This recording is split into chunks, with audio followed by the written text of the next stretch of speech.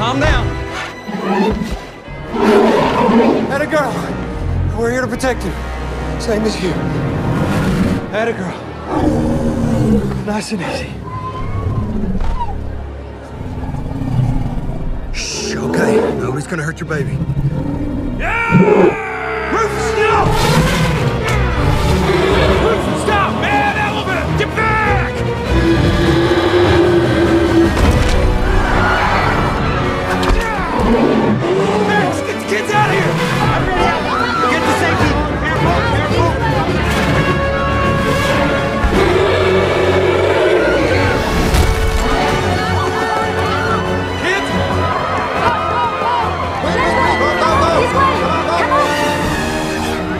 How'd you like your job now, cowboy?